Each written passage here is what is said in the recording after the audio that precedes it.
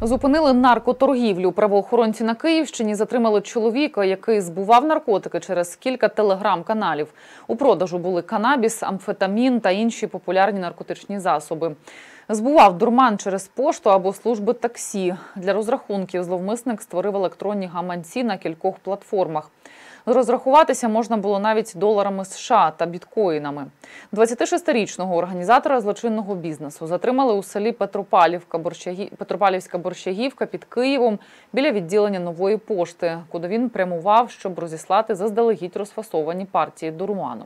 Серед виявленого коробки з канабісом, галюциногенні гриби, мефедрон та інші наркотики. Згодом обшукали помешкання підозрюваного. Там знайшли велику партію наркотиків на суму за цінами чорного ринку понад 5 мільйонів гривень. Фігуранта наразі затримано. Якщо його вину доведуть, він може провести за ґратами до 8 років. Правоохоронці і надалі працюють над закриттям онлайн-магазинів, що незаконно збувають наркотики.